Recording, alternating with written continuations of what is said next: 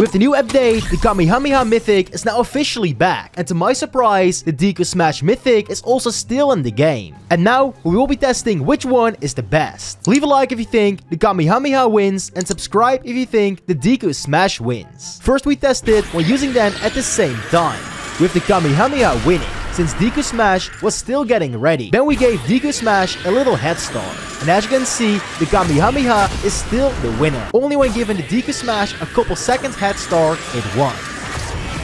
Comment W if you chose the Kamehameha.